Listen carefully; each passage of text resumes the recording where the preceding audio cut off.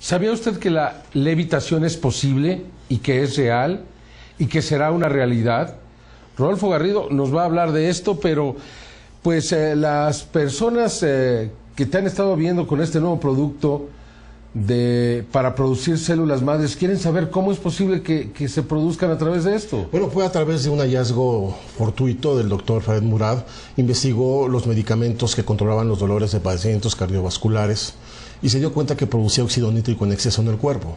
Creyó que esto era malo, buscaba una secuela de estos, productos para poderlo reportar a la FDA, sin embargo encontró que no. Encontró que el óxido nítrico, incluso nuestros neurotransmisores, regulan, regulan sus funciones dentro del cerebro. Eso le llamó la atención, siguió el óxido nítrico y cuando llegó a la médula ósea se dio cuenta que reacciona con la arginina, que es un aminoácido esencial en el cuerpo, y bueno, este reacciona con la arginina y una coenzima. Esa coenzima con la que reacciona con la médula ósea es la que exacerba la médula ósea precisamente para producir células madre en abundancia. ¿Dónde las deja la médula ósea? En la sangre. Es lo que hace el producto. O sea, tiene esa coenzima, tiene todos los minerales. ¿Y las células madres dónde se van? Se quedan en la sangre y en la sangre van a todo el cuerpo, a todos los tejidos. Y los tejidos, si demandan una regeneración celular, como son células madre, madre de matriz, matriz que engendra, pues se dividen, se dividen y pueden formar células de acuerdo a los tejidos. esto? crean nuevas células. Eso se entiende como una rejuvenación. Pues yo creo que sí rejuvenece, pero bueno. Rejuvenece en todos los sentidos. Es... Pero además regenera células. Ya la quiero empezar a tomar. Y regeneras eh, tejidos que pueden estar. Ya me convenciste, más que me convenciste. Ya quiero... Y bueno, está a disposición del público para que hagan sus distribuciones o sean distribuidores y lo lleguen, hagan llegar a México o a cualquier parte del mundo, estos teléfonos que ahí aparecen. Ahora vamos a ver esto que nos preparaste, si te parece, el viejo sueño del hombre. Así es, tratar de volar, separarse de la Tierra de la madre tierra. Van a ser dos investigaciones. Esta es la primera de estas dos. ¿Y la, siguiente, la semana siguiente? Vamos a ver la parte científica, la parte de hoy. Esto es la historia de la levitación, ¿te parece? Vamos a verlo. Adelante. Esto es Rodolfo Garrido, la levitación. ¿Usted cree que la levitación humana pueda ser realidad? ¿Realmente tenemos evidencias de ella en la historia? ¿La levitación humana es solo una fantasía del hombre o hay evidencias ya encontradas por la ciencia? La levitación, y en especial la humana, es por mucho una de las más grandes obsesiones de la humanidad. Su sueño por alcanzarla lo ha hecho ir desde lo mítico y sobrenatural hasta los más grandes fraudes y engaños. Nuestro pasado está lleno de narraciones, y muchas de ellas muy serias, sobre hombres que podían levitar. En las historias medievales hay cientos de testigos de haber presenciado el insólito acto de elevación por los aires de algunos santos, hoy considerados fuera de serie. La historia habla al menos de 200 de ellos que podían volar por los aires. Sin duda, uno de los más famosos fue el fraile católico San José de Cupertino en el siglo XVII, hoy santo patrono de los voladores se le atribuyen más de 100 vuelos en su vida religiosa.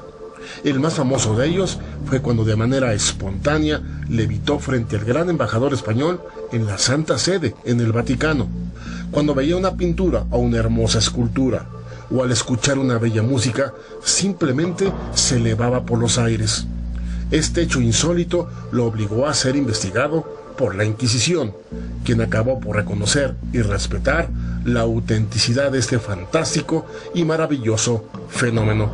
Lamentablemente, solo tenemos narraciones del hecho, pero ninguna prueba de ello. La cultura hindú es una cultura milenaria que guarda en sus entrañas una insospechada sabiduría y un sinfín de enigmas por resolver. En la Edad Media sus magos conmovieron al mundo al realizar un acto de levitación que en su momento rebasaba cualquier explicación posible. En este acto, el mago hindú le ordena una cuerda que está en reposo que se eleve al cielo y que se mantenga erguida para soportar que un ser humano la escale. Normalmente lo hacía un niño. En esta película original de hace 80 años, en frente de soldados británicos, se hace una demostración de este maravilloso acto. Después de revisar con cuidado estas imágenes, se desprende que la película fue corrida en reversa, dejando ver en un instante que hay un tubo detrás de la cuerda cuando accidentalmente el niño la mueve con su pie. Aún así, el acto causó sensación en el mundo entero. Sin embargo, y a pesar de todo, hace poco este fakir llamado Isamubi desarrolló el acto en frente de cámaras manejadas por escépticos.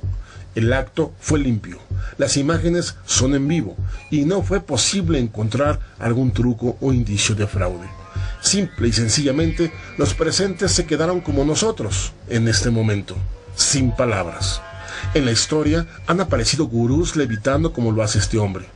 Aunque goza de prestigio en su comunidad, la verdad es que esta levitación es un truco que ha sido abiertamente aclarado, mostrando hasta dónde puede llegar el ingenio humano para engañar.